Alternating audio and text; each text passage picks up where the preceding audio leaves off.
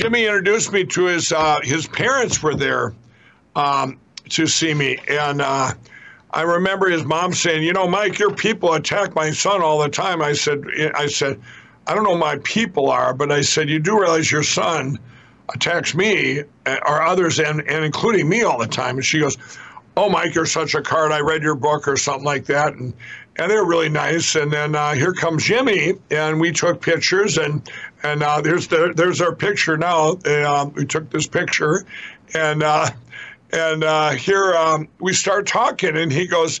And he started asking me about the electronic voting machines. Do you think we really could get them out, Mike? Do you think you can get rid of them? I said, absolutely. I said, you know, and we now know that to be true. That you know, that's um, Argentina got rid of them in four months. Uh, just uh, uh, half a year ago and, and saved their country. The first fair election they've had in a long, long time. They even did it faster than the Netherlands did it. And you have all these countries out there that don't have machines that have outlawed them. And uh, um, so I guess the point I'm making there is that you, I've seen it, there's a few times I've seen a side of Jimmy where he's looking at things from a logical or a um, a point of view that hey, I'm not I'm sounding a real alarm here, and um, um, now was he concerned? I think it was more like, don't you think this is impossible? But Brannon, it wasn't any of that. Um, stuff you see on TV that sh- um, you know his what do you his call it shtick or whatever. Mm-hmm. Uh-huh. Yeah, and uh,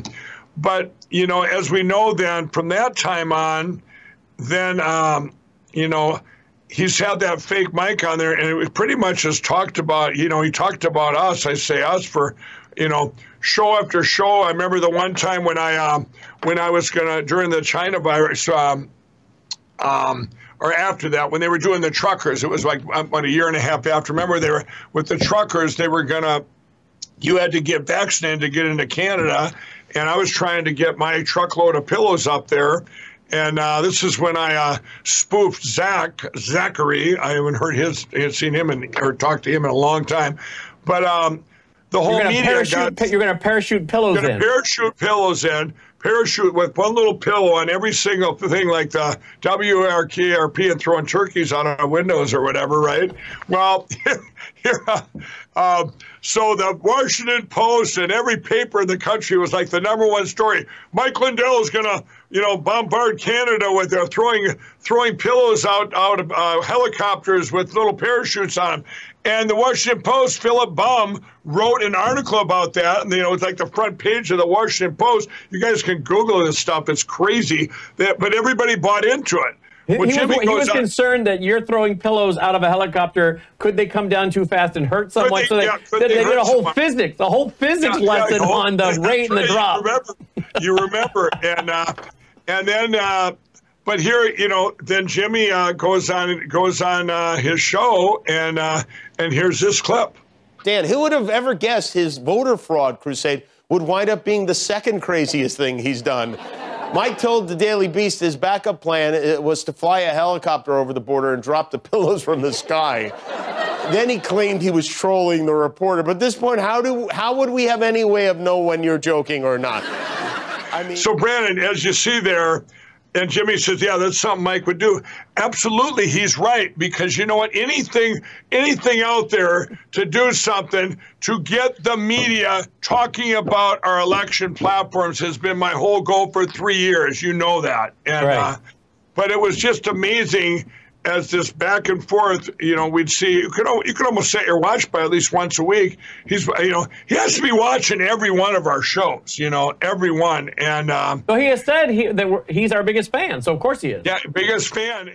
Uh, mentioned it. You know, he said, "Hey," he goes, "Well, here's Mike Lindell with his, you know, Mike with his new bride," and and uh, went on and on about it. And uh, well, Jimmy grabbed that. Okay, so he grabs that and he does a whole clip.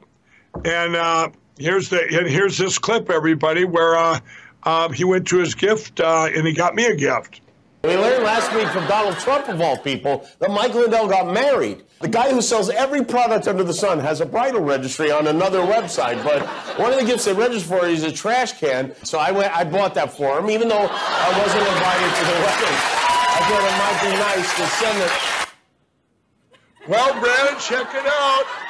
Old Jimmy sent it, and actually, this is our uh, There it is, everybody. There it is.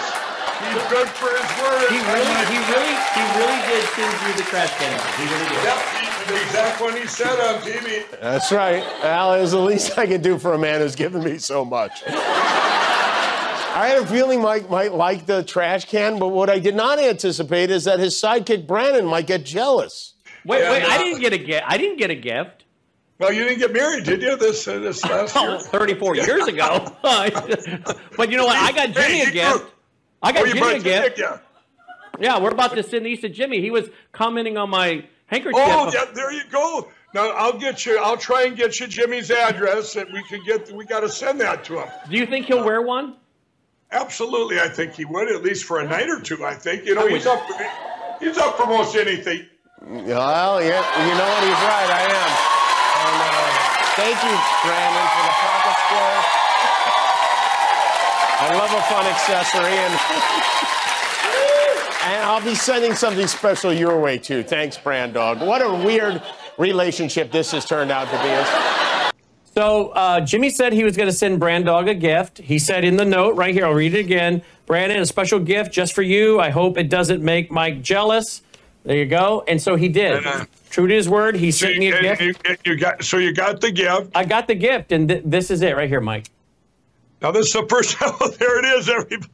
You got so you got uh, you got a shirt to match my uh, my painting from Yes, Jimmy. I got a back. You know, and uh, wow, that's first time I've seen this. everybody, Are you Yeah. jealous?